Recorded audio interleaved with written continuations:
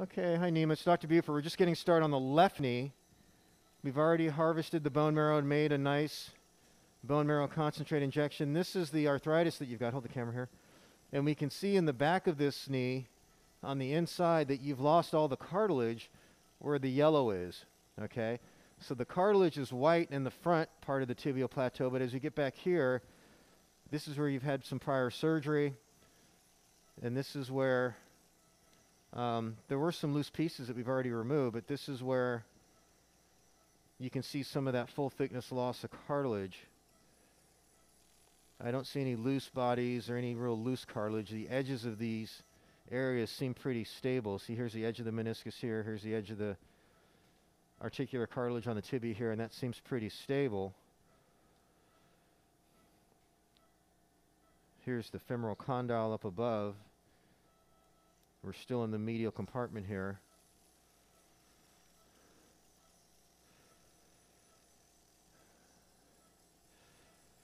And you can see some of the areas here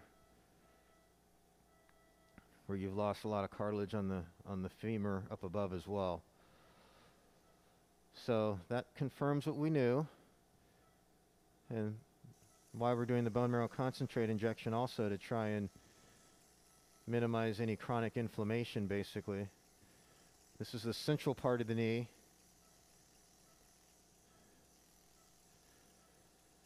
And then in just a second we're going to look in the lateral compartment. So hold that.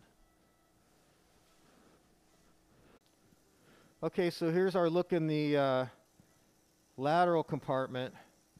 This is even more involved in the medial. You can see you've lost essentially all the cartilage on the femoral condyle here. So this is uh, obviously not what we want to see in somebody so young. A lot of irregularity and a lot of cartilage loss. Push down with your left hand. We'll see if we can open this up a little bit more, but that's pretty much it. Straighten the knee a little bit. See if that helps us. Yeah, okay, come back. Now flex the knee. Okay, so that's what's going on there. Again, I'm primarily looking for loose bodies at this point and making sure that there's nothing in the cartilage that's really loose like a flap.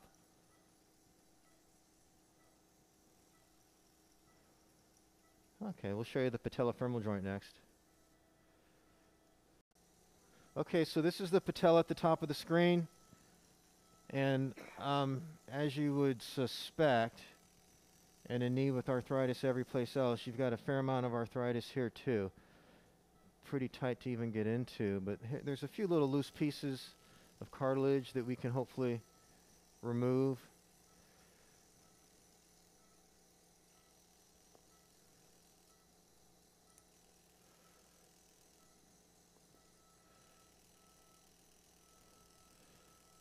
Okay.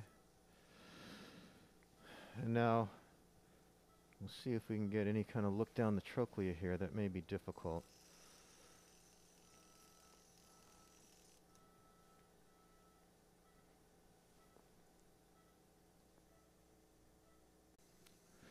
Okay, so we're looking at this patellofemoral joint, and you know you've lost essentially all the cartilage here as well, and this patella is not in great shape either. You've the the cartilage is really flaking off of the patella, and we've tried to remove some of the pieces. Um,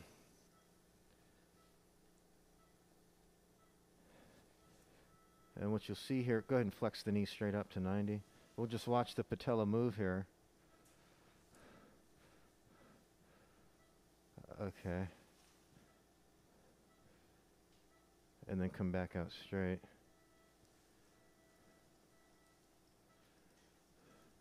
Alright, so that's about as good as we can get things here. I'm just, you can, you can see this little central area, the patella, where that doesn't look stable, but believe me, it was worse before. I just don't want to take away anything that uh, is not unstable, but that's where we're at. Okay, so we're going to finish up on this knee, get to work on the right knee. Okay, so we're looking in the right knee now. This is our first look in the medial compartment. And it doesn't look great. What we do see here is you've got this meniscus tear that I think we can help with, though. See all this torn meniscus here? So we're going to go ahead and start the shaver. We'll trim this out. There really isn't a, a way to repair that and expect it to do well because of the blood flow here. And um, hold the camera there, please. I'm going to do that. So.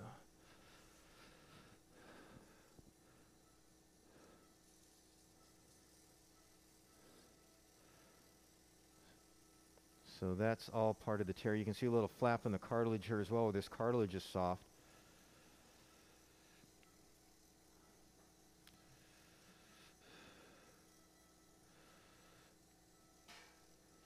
But just getting this out should help the right knee quite a bit.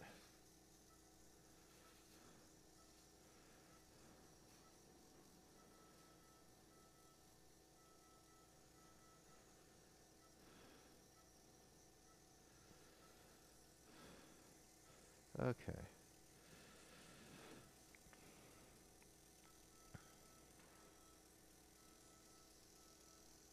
And again, don't want to remove any cartilage that's hanging on, but also don't want to leave anything that's about to become loose.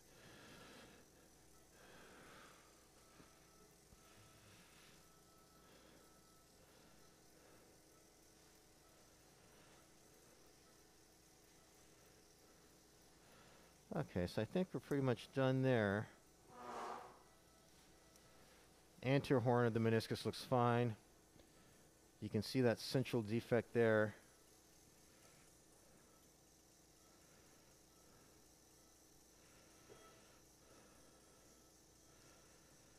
Okay.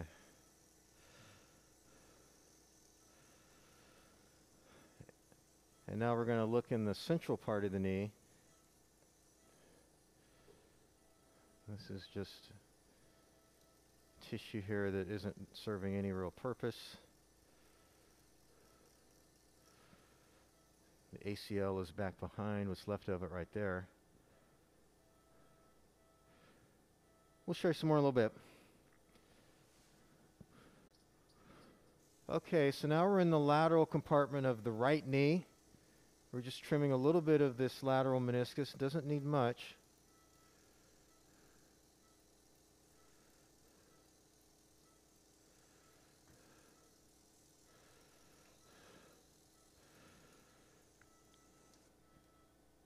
And actually, this is, of all the places we've looked so far, this looks the best because we can still see cartilage covering the tibial plateau and the femur up above actually looks like it's in pretty good shape. We'll keep looking here, show you some more in a minute. Okay, so this is the patella and the patellofemoral joint on the right knee. This actually looks a lot better than the left.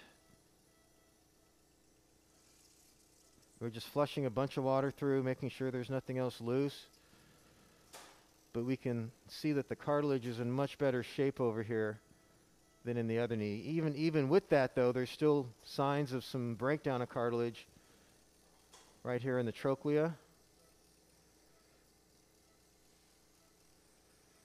So you can see right in the middle here, you, you've got some thinning of the cartilage.